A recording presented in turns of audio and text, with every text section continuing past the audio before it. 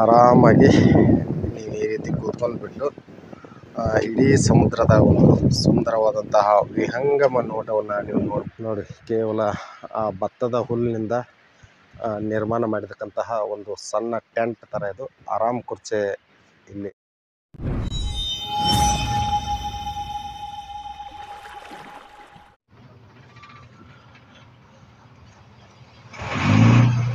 ಅನೇಕ ಏನಂದ್ರೆ ಬೋಟ್ಗಳು ನಿಂತಹ ದೃಶ್ಯವನ್ನು ಕೂಡ ನಾವು ನೋಡ್ಬೋದು.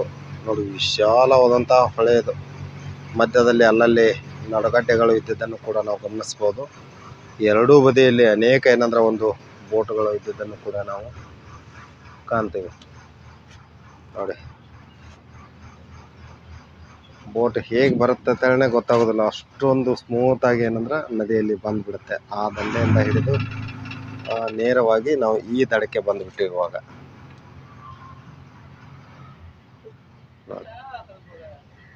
ಅಲ್ಲಿ ಆ ಭಾಗದಿಂದ ಹಿಡಿದು ಈ ಭಾಗದವರೆಗೆ. ನೋಡಿ, ಇಲ್ಲಿ ಪ್ರಮುಖವಾಗಿ ಡ್ರೈವರ್ ಬೋಟ್ನ ಪ್ರಮುಖ ಚಾಲಕರು ಇವರು. ನೋಡಿ ಬೋಟ್ ಯಾವ ರೀತಿ ಒಂದು ಚಲಾವಣೆ ಮಾಡ್ತಾ ಇದ್ದಾರೆ. ಯಾಕಂದರೆ ಅವರಿಗೆ ನಿರ್ದಿಷ್ಟವಾಗಿ ಅದೇ ಒಂದು ಸ್ಥಳದಲ್ಲಿ ಏನಂದ್ರೆ ಬೋಟನ್ನು ಇಲ್ಲಿ ಈ ಭಾಗದಲ್ಲಿ ನಿಲ್ಲಿಸ್ಬೇಕಂದ್ರೆ ಅತ್ಯಂತ ಪರ್ಫೆಕ್ಟ್ ಆದಂತಹ ಒಂದು ಬೋಟ್ನ ಚಾಲಕರವರು.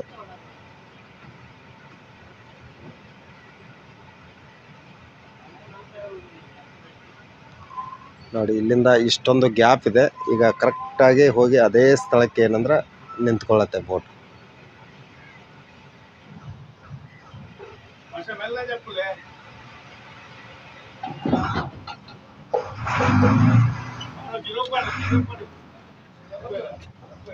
ಹಾ, ಇವಾಗ ಬೋಟ್ ಬಂದು ನಿಂತು ಅದರ ಸ್ಥಳಕ್ಕೆ. ಇಲ್ಲಿಂದ ಒಬ್ರು ಹೇಳಿದ್ರು ಅವರು. ನೋಡಿ ಬೋಟ್ ಚಾಲನೆ ಮಾಡ್ತಾರೆ ಇವರು.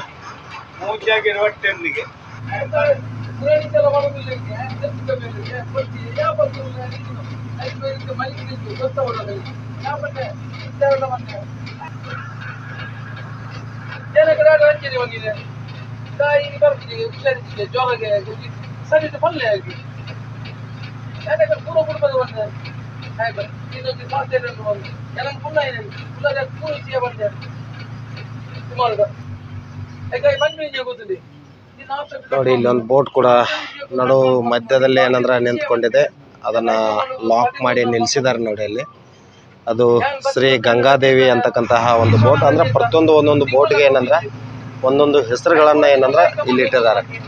ನೋಡಿ, ಇಲ್ಲಿಂದ ಆ ನದಿಯ ಪಕ್ಕದಲ್ಲಿ ವಿಶಾಲವಾದಂತಹ ಮಂಗಳೂರು ನಗರ ಕೂಡ ಏನಂದ್ರೆ ನಾವು ನೋಡ್ತೀವಿ. ಈಗ ಬೋಟ್ ಇಲ್ಲಿಂದ ನೇರವಾಗಿ ಟರ್ನ್ ಆಗಿ ಈ ಒಂದು ಸ್ಥಳಕ್ಕೆ ಏನಂದ್ರೆ ಬಂದು ತಲುಪ್ತಾ ಇದೆ. ವಿಶೇಷವಾದಂತಹ ಒಂದು ಅನುಭವ ಇದು. ಯಾಕಂದ್ರೆ ಅನೇಕ ಕಡೆ ನಾವೆಲ್ಲ ಬಸ್ಸಲ್ಲಿ, ವಾಹನಗಳಲ್ಲಿ ತಿರುಗಾಡಿರ್ತೀವಿ ರೈಲುಗಳಲ್ಲಿ ತಿರುಗಾಡಿರ್ತೀವಿ. ಆದರೆ ಬೋಟ್ನಲ್ಲಿ ತಿರುಗಾಡೋದಂದ್ರೆ ಒಂದು ವಿಶೇಷವಾದಂತಹ ಅನುಭವ ಇದೆ ಅಂತೇಳಿ ಹೇಳ್ಬೋದು. ಅದು ಕೇವಲ ಹದಿನೈದು ರೂಪಾಯಲ್ಲಿ ಏನಂದ್ರೆ ಒಂದು ಅತ್ಯುತ್ತಮವಾದಂತಹ ಬೋಟ್ನಲ್ಲಿ ಪ್ರಯಾಣ ಮಾಡ್ತಿದ್ದೀನಿ ಅಂತ ಹೇಳಿದ್ರೆ, ಅದೊಂದು ವಿಶೇಷವಾದಂತಹ ನೆಮ್ಮದಿ ಅಥವಾ ಮನಸ್ಸಿಗೆ ಸಂತೋಷವಾದಂತಹ ವಿಷಯ ಇದು. ನೋಡಿ, ಇಲ್ಲಿಂದ ನಮ್ಮ ನಿಲ್ದಾಣ ಬಂತು ಇವಾಗ. ನಮ್ಮ ನಿಲ್ದಾಣಕ್ಕೆ ಏನಂದ್ರೆ ಬಂದು ನಿಂತ್ಕೊಳ್ಳುತ್ತೆ ಇವಾಗ ಬೋಟ್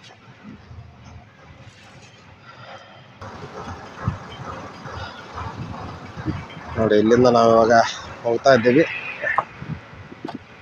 ಓಕೆ, ಇದು ನಾವು ಬಂದಂತಹ ಬೋಟ್ ಆಗಿತ್ತು. ಅತ್ಯಂತಹ ವಿಶಾಲವಾದಂತಹ ದೊಡ್ಡದು ಬೋಟ್ ನಾವು ನೋಡಿರ್ತೀವಿ ಬೋಟ್ ಅಂದ ತಕ್ಷಣ ಚಿಕ್ಕದಾಗಿರುತ್ತೆ ಅಂತ ತಿಳ್ಕೊಂಡಿದ್ವಿ ಬಟ್ ಅತ್ಯಂತಹ ದೊಡ್ಡದಾದಂತಹ ಬೋಟ್ ಆ ನದಿಯ ದಂಡೆಯ ಭಾಗದಿಂದ ಈ ನದಿಯ ದಂಡೆಯ ಭಾಗದವರೆಗೆ ಬಂದಿದ್ದೀವಿ. ಇವಾಗ ನಾವು ಇಲ್ಲಿಂದ ನೇರವಾಗಿ ತಣ್ಣೀರು ಬಾವಿ ಬೀಚ್ ಅಂತ ಹೇಳಿದೆ ಆ ತಣ್ಣೀರು ಬಾವಿ ಬೀಚ್ ಕಡೆ ಏನಂದ್ರೆ ಹೋಗ್ತಾ ಇದ್ದೀವಿ. ಈ ಕಡೆಯಿಂದ ತಣ್ಣೀರು ಬಾವಿ ಬೀಚ್ ಕಡೆಯಿಂದ ನಾವು ಮತ್ತೆ ಆ ನದಿ ದಂಡೆ ಭಾಗ ಕಡೆ ಹೋಗ್ಬೇಕಾದ್ರೆ ಇಲ್ಲಿ ಏನಂದ್ರೆ ಒಂದು ಟಿಕೆಟ್ ಕೌಂಟ್ರ್ ಇದೆ. ಇಲ್ಲಿ ಏನಂದ್ರೆ ನಾವು ಟಿಕೆಟನ್ನು ತೆಗೆದುಕೊಳ್ಬೇಕಾಗತ್ತೆ. ಇಲ್ಲಿ ಬೋಟ್ ಇರ್ತಕ್ಕಂತಹ ಸಮಯ ಯಾವುದಂದ್ರೆ ಬೆಳಗ್ಗೆ ಏಳು ಗಂಟೆಗೆ ಆರಂಭ ಆಗುತ್ತೆ. ಸಾಯಂಕಾಲ ಏಳುವರೆಗೆ ಏನಂದ್ರೆ ಬೋಟ್ ಸೌಲಭ್ಯ ಏನಂದ್ರೆ ಮುಕ್ತಾಯ ಆಗುತ್ತೆ. ರಾತ್ರಿ ಹೊತ್ತು ಏನಂದ್ರೆ ಒಂದು ಬೋಟ್ ಸೌಲಭ್ಯ ಇಲ್ಲಿರೋದಿಲ್ಲ ಈಗ ನಾವು ನೇರವಾಗಿ ತಣ್ಣೀರು ಬಾವಿ ಬೀಚ್ ಕಡೆ ಹೋಗ್ತಾ ಇದ್ದೀವಿ.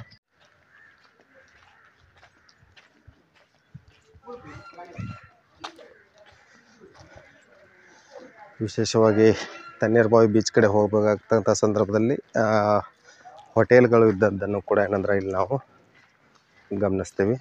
ನೋಡಿ, ಯಾವ ರೀತಿ ಒಂದು ಬಿದಿರಿನ ಬೊಂಬುಗಳಿಂದ ಇಲ್ಲಿ ಹೋಟೆಲ್ಗಳನ್ನ ನಿರ್ಮಾಣ ಮಾಡಿಕೊಂಡಿದ್ದಾರೆ ಅನ್ನೋದನ್ನು.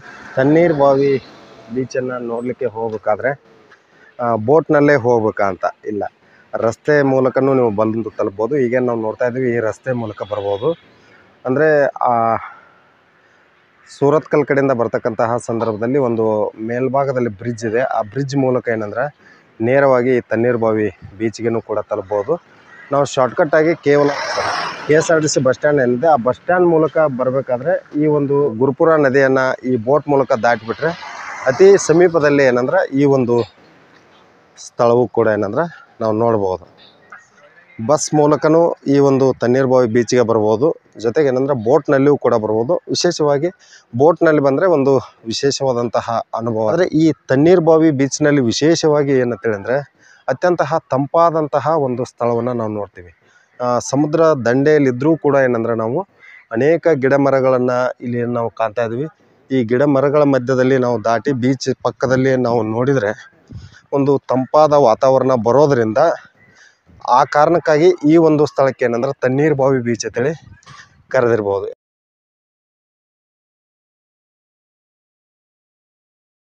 ಬಿದರಿನಲ್ಲೇ ಏನಂದ್ರೆ ಒಂದು ಆಫೀಸ್ ರೀತಿ ಏನಂದ್ರೆ ಮಾಡ್ಕೊಂಡಿದ್ದಾರೆ. ಕೆಲವೊಂದಿಷ್ಟು ಏನಂದ್ರೆ ಬೀಚ್ ಸಮುದ್ರ ದಂಡೆಯಲ್ಲೂ ಕೂಡ ಏನಂದ್ರೆ ಹೋಟೆಲ್ಗಳು ಕೆಲವೊಂದಿಷ್ಟು ಏನಂದ್ರೆ ತಿಂಡಿ ತಿನಿಸುಗಳು ಏನಂದ್ರೆ ಈ ಒಂದು ಭಾಗದಲ್ಲಿ ಸಿಗತ್ತೆ. ಇದು ಈಗೇನು ನಾವು ಬಂದಿದ್ದೀವಲ್ಲ, ಇದು ಪ್ರಮುಖವಾಗಿ ತಣ್ಣೀರು ಬಾವಿ ಬೀಚ್ ಅಂತೇಳಿ ಇದನ್ನು ನಾವು ಕರಿತೀವಿ.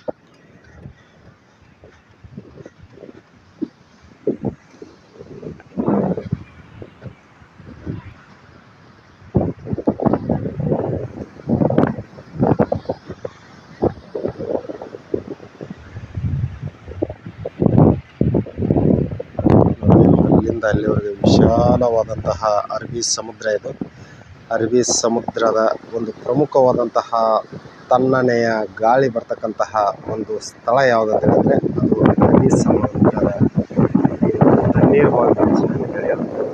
ಇದು ತಣ್ಣೀರು ಬಾವಿ ಬೀಚ್ನ ಒಂದು ಅದ್ಭುತ ಮನೋಹರವಾದಂತಹ ದೃಶ್ಯ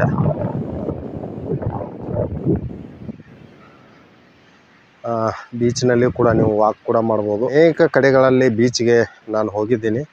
ಆದರೆ ಎಷ್ಟೊಂದು ಬಿಸಿ ಗಾಳಿ ಬರ್ತಾ ಇರುತ್ತೆ. ಆದರೆ ಅತ್ಯಂತಹ ತಂಪಾದ ಗಾಳಿ ಬರ್ತಕ್ಕಂತಹ ಒಂದು ದೃಶ್ಯ ಯಾವುದಾದ್ರೂ ಇದ್ದರೆ ಅದು ಒಂದು ಇಲ್ಲೇ ಅಂತ ಹೇಳ್ಬೋದು.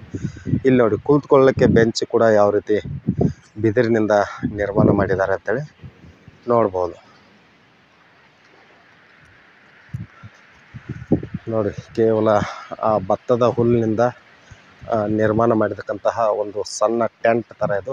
ಆರಾಮ್ ಕುರ್ಚೆ ಇಲ್ಲಿ ಆರಾಮಾಗಿ ನೀವು ಮಲಿಕೊಂಡು ಬೀಚನ್ನು ನೋಡ್ಬೋದು.